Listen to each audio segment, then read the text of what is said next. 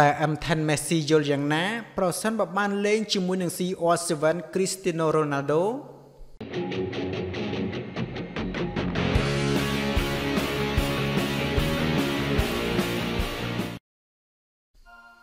កំពូលកីឡាករ Lionel Messi និង Cristiano Ronaldo ត្រូវបានប្រិយមិត្តអ្នកគាំទ្រវិស័យកីឡាបាល់ទាត់ចាត់ទុកពួកគេ ជាខ្សែប្រយុទ្ធដ៏ល្អបំផុតក្នុងលោកនាពេលបច្ចុប្បន្ននេះ អ្វីត្បិតតែអ្នកទាំងពីរតែងត្រូវបានអ្នកគាំទ្ររៀងរៀងខ្លួនយកមកធ្វើការប្រៀបធៀបវែកញែកចង់ដឹងថាអ្នកណាល្អជាងអ្នកណាជាញឹកញាប់ក៏ដោយក៏កំពូលខ្សែប្រយុទ្ធទាំងពីរតែងមានការគោរពចំពោះគ្នាទៅវិញទៅមកដដែលជាក់ស្ដែងកាលពីពេលកន្លងទៅ M10 Messi បានថ្លែងប្រាប់អ្នកសារព័ត៌មានថាប្រសិនបើរូបលោកមានឱកាសបានលេងជាមួយ CR7 Cristiano Ronaldo នោះលោកប្រកាសជាប៉ះបាល់ឲ្យខ្សែប្រយុទ្ធព័រទុយកាល់ជាអ្នកបញ្ចប់ទីជាក់ជាមិនខានលោកបាននិយាយថា ប្រសិនបើខ្ញុំបានលេងជាមួយនឹង Ronaldo ខ្ញុំគិតថាខ្ញុំនឹងប៉ះបាល់ឲ្យគាត់ជាអ្នកបញ្ចប់ទី ក្រុម Real Madrid ខកខានគ្រាប់បាល់ជាច្រើនគ្រាប់ចាប់តាំងពីអវត្តមានរបស់រ៉ូណាល់ដូតែពួកយើងដឹងច្បាស់ហើយថា វាប្រកាសជាកើតមានរឿងបែបនេះ មិនត្រឹមតែជាការរកគ្រាប់បាល់ទេរ៉ូណាល់ដូក៏បានផ្ដល់ឲ្យយើងនៅអ្វីអ្វីដែលសំខាន់ជាច្រើនទៀតនៅក្នុងការប្រកួតនេះបើតាមសម្រងសម្ដីរបស់ Messi ដែលចុះផ្សាយដោយគេហទំព័រ The Football Lorna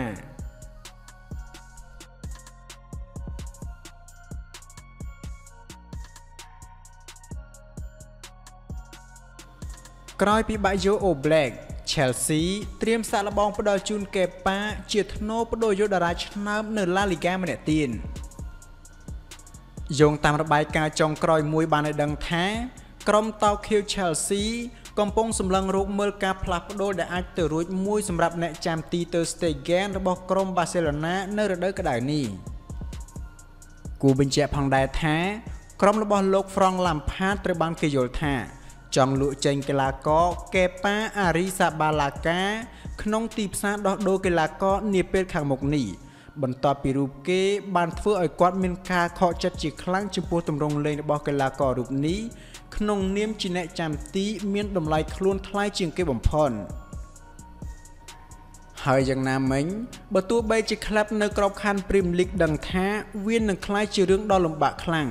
ដើម្បីតាក់ទាញទៅ Stegen ឲ្យចាក់ចេញឆ្ងាយពីទឹកដី Camp Nou ក៏ដោយ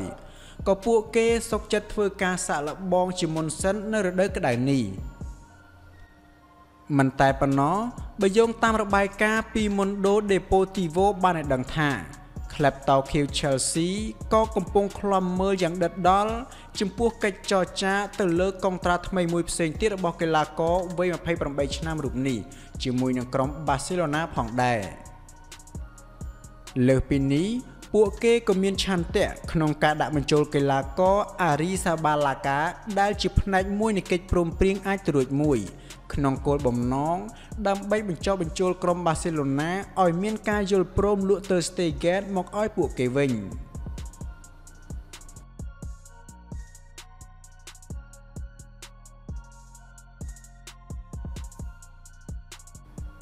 ក្លឹបមួយនៅលីកកំពូលបារាំងចង់បានអ្នកចាំទីឡូរីការៀពីក្លឹបលីវើពូលក្លឹបម៉ុងប៉េលេយេនៃលីកកំពូលបារាំងបានបង្ហាញការចាប់អារម្មណ៍មួយរបស់ពួកគេទៅលើអ្នកចាំទីឡូរីការៀរបស់ក្លឹបលីវើពូលអ្នកចាំទីសញ្ជាតិអាល្លឺម៉ង់រូបនេះទើបតែបានបញ្ចប់កុងត្រាខ្ចីជើងពីក្លឹបទួគីបេស៊ីតាកាលពីខែឧសភាកន្លងទៅ បន្ទាប់ពីចំណាយពេលជិត2រដូវកាលនៅទីនោះ។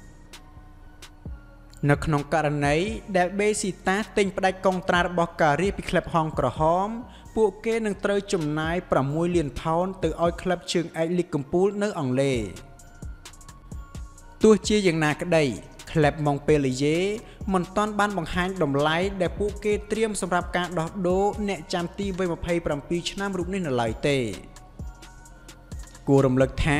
ការីសបានផ្ទេរចេញពីក្លឹបអាល្លឺម៉ង់ Mainz មកកាន់ Liverpool នៅក្នុងឆ្នាំ2016ក្នុងតម្លៃខ្លួន4.7លានផោនហើយការប្រកួតចុងក្រោយដែលរូបគេបានចូលលេងក្រោមការដឹកនាំរបស់លោកជើកិនក្លបគឺនៅក្នុងវគ្គផ្ដាច់ព្រាត់ Champions League ទល់នឹងរៀលម៉ាឌ្រីតកាលពីឆ្នាំ2018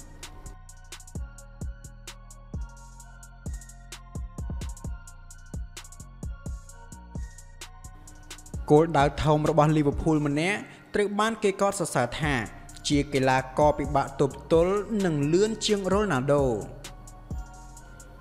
ក្រុមហងក្រហម Liverpool និង Manchester City សុទ្ធសឹងតែមានទំនាក់ទំនងជាមួយនឹងការផ្លាស់ប្ដូរសម្រាប់ខ្សែប្រយុទ្ធ Adama Traore របស់ក្រុមជចកខ្មៅ Wolves នារដូវក្តៅនេះហើយបើយោងតាមកាសែត Sunday Times បានឲ្យដឹងថា ក្រុមវូបានដាក់ចេញតម្លៃខ្លួនប្រមាណ135លានផោនសម្រាប់ខ្សែប្រយុទ្ធឆ្នាំរបស់ពួកគេ ដែលមានកិច្ចសន្យារហូតដល់ឆ្នាំ2023រូបនេះយ៉ាងណាមិញចំពេលកំពុងមានវិបត្តិហិរញ្ញវត្ថុដោយសារ COVID-19 វាត្រូវបានគេយល់ថា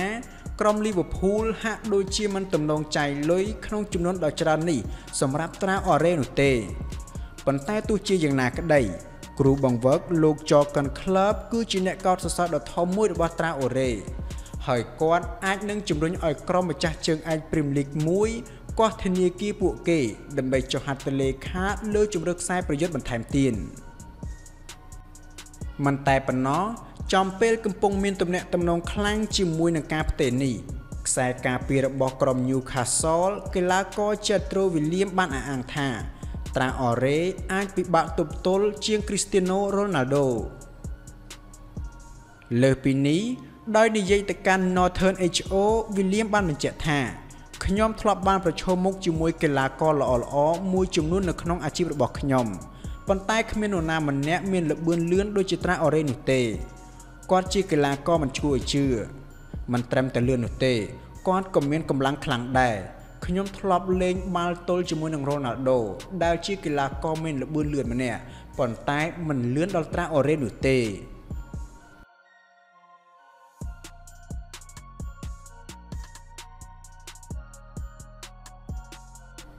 អស់អ្វីជាចម្ងល់ហើយអឹមប៉ាប៉េទម្លាយច្បាស់ច្បាស់អំពីអនាគតរបស់ខ្លួននៅឆ្នាំ2021 ក្រោយយកឈ្នះការប្រកួតមិត្តភាពផ្ទល់ Celtic 3ទល់នឹង0កាលពីពេលកន្លងទៅខ្សែប្រយុទ្ធវ័យក្មេង Kylian Mbappe បានចេញបញ្ជាក់ពាក់ព័ន្ធទៅនឹងអនាគតមិនប្រកបប្រជារបស់ខ្លួនសម្រាប់ឆ្នាំបន្ទាប់កន្លងមកមានពាក្យចចាមអារាមជាហូហែថា Real Madrid ឬអាចជា Liverpool នឹងចាយលុយធំយកកីឡាករបារាំងចេញពីទឹកដីបារាំងនៅរដូវក្តៅនេះប៉ុន្តែថ្ងៃនេះអឹមប៉ាប៉េបានច្រានចោល ហើយនិយាយថាខ្លួននៅបន្តឈរជើងជាមួយ Paris Saint-Germain 100%នាឆ្នាំក្រោយយុវជនវ័យ21ឆ្នាំបាននិយាយផែនការនៅឆ្នាំទី4ជាមួយ Paris Saint-Germain ខ្ញុំត្រឹមនិយាយថាខ្ញុំនឹងបន្តនៅ ដោយនេះសម្រាប់អ្នករាល់គ្នាឋានៈគ្រប់គ្រង និងអ្នកគ្រប់គ្រងគឺខ្ញុំនៅតែបន្តមិនថាមានរឿងអ្វីនោះទេ ពោលគឺខ្ញុំចង់ឲ្យក្រុមឈ្នះពានជាច្រើននិងក្លាយជាក្រុមខ្លាំងក្នុងលោកគួរបញ្ជាក់ថា Paris Saint-Germain កំពុងស្ថិតក្នុងការប្រកួតប្រជែង UCL នារដូវកាល2019-2020ដដែលក្រោយយកឈ្នះលើ Dortmund នៅវគ្គ16ក្រុម ហើយការប្រកួតវគ្គ8ក្រុមទល់នឹង Atlanta នឹងធ្វើឡើងនាខែក្រោយ។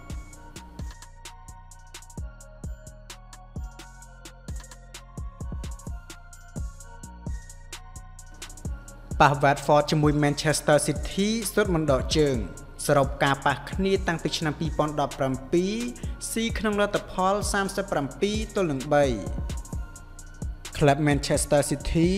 បានបញ្ចប់ការប្រកួតជុំទី37របស់ខ្លួន ដោយយកឈ្នះទៅលើ Watford ក្នុងលទ្ធផល4ទល់នឹង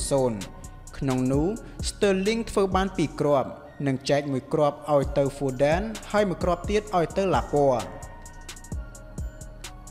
ទន្ទឹមជ័យជំនះនៅក្របបាល់ដ៏ច្រើននេះទំព័រ BR Football ក៏បានសម្រេចលទ្ធផលរួមនៅ8ប្រកួតចុងក្រោយ ដែល Watford បានតតាំងជាមួយ Manchester City មិនថាប្រកួតនៅក្របខ័ណ្ឌកំពូលអង់គ្លេសឬពានដទៃទៀតលទ្ធផលហាក់ភ្ញាក់ផ្អើលជាខ្លាំងព្រោះសរុបក្របបាល់គឺ Manchester City ស៊ី37 ទល់នឹង3ឯណោះដោយភាគច្រើននៃការប្រកួតគឺសុទ្ធមិនក្រោម4គ្រាប់ឡើយ ហើយ Manchester City ទទួលជ័យជំនះគ្រប់ការប្រកួត8ប្រកួតកន្លងមករាប់ចាំងតាំងពីខែឧសភាឆ្នាំ2017រវាងក្រុមទាំងពីរមានដូចតទៅ Watford 0ទល់នឹង Manchester City 5ក្នុងការប្រកួត Premier League នៅខែឧសភាឆ្នាំ2017 Watford 0ទល់នឹង Manchester City 6ក្នុងការប្រកួត Premier League នាខែកញ្ញាឆ្នាំ2017 Manchester City 3ទល់នឹង Watford 1ក្នុងការប្រកួត Premier League នាខែមករាឆ្នាំ2018 Watford 1ទល់នឹង Manchester City 2ក្នុងការប្រកួត Premier League នាខែធ្នូឆ្នាំ2018 Manchester City 3ទល់នឹង Watford 1ក្នុងការប្រកួត Premier League នាខែមិនិនាឆ្នាំ2019 Manchester City 6ទល់នឹង Watford 0ក្នុងការប្រកួត FA Cup នាខែឧសភាឆ្នាំ2019 Manchester City 8ទល់នឹង Watford 0ក្នុងការប្រកួត Premier League ខែកញ្ញាឆ្នាំ2019 Watford 0ទល់នឹង Manchester City 4ក្នុងការប្រកួត Premier League នាខែកក្កដាឆ្នាំ2020នេះ